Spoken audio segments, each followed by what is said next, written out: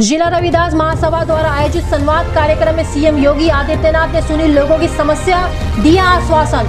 CM ने कहा, संगठित समाज से ही एक सशक्त राष्ट्र निर्माण की संकल्पना की जा सकती है पूरी।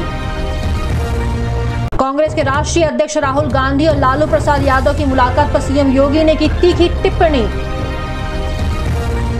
सीएम से मिलने आए फरियादियों के बीच मिले दो युवकों ने अपने उपहार भेंट करने में कामयाबी। आठ महीनों से भटक रहे थे मुख्यमंत्री को देने के लिए अपना उपहार। गोरखपुर न्यूज़ की विशेष रिपोर्ट। मुख्यमंत्री योगी आदित्यनाथ की अध्यक्षता में संपन्न हुई उद्योग और व्यापार बंधुओं द्वारा अधिकारियों की बैठक। सीएम ने मंडलायुक्त और डीएम को समस्याओं के समाधान के दिए निर्देश। विश्वविद्यालय की स्थापना की पूर्व संध्या पर कुलपति ने गिनाई उपलब्धियाँ, कहा नोबेल पुरस्कार प्राप्त विभूतियों को व्याख्यान के लिए आमंत्रित करेगा विश्वविद्यालय।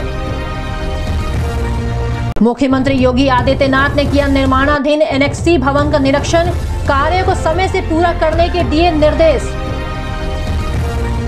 पुरानी पेंशन व्यवस्था लागू किए जाने की मांग को लेकर राज्य कर्मचारी संयुक्त परिषद और आयकर कर्मचारी महासंघ ने संयुक्त रूप से प्रधान कार्यालय, आयुक्त कार्यालय परिसर में किया विरोध प्रदर्शन।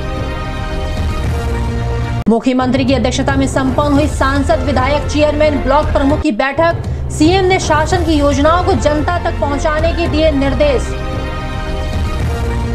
प्रदेश के सिंचाई मंत्री धर्मपाल सिंह ने तरकुलानी पंपिंग स्टेशन के निर्माण कार्य में धीमी गति पर अधीक्षण अभियंता और अधिशासी अभियंता से किया स्पष्टीकरण तलब।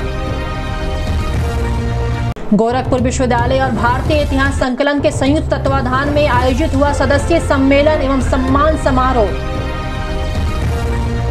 उत्तर प्रदेश के मुख्यमंत्री सीएम योगी आदित्यनाथ ने गोरखनाथ मंदिर परिसर में लगाया जनता दरबार। लोगों की सुनी समस्याएँ।